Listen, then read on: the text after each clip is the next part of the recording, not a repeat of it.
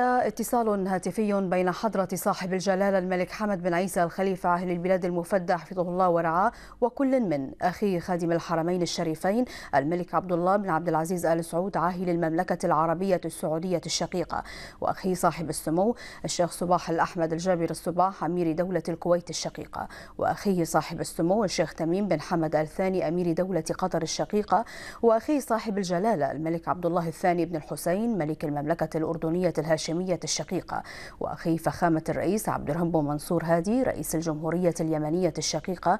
وأخيه صاحب السمو الملكي الأمير سلمان بن عبد العزيز آل سعود ولي العهد نائب رئيس مجلس الوزراء وزير الدفاع بالمملكة العربية السعودية الشقيقة.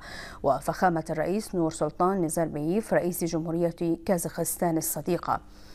وأخيه صاحب السمو الشيخ محمد بن راشد المكتوم نائب رئيس دولة الإمارات العربية المتحدة رئيس مجلس الوزراء حاكم دبي.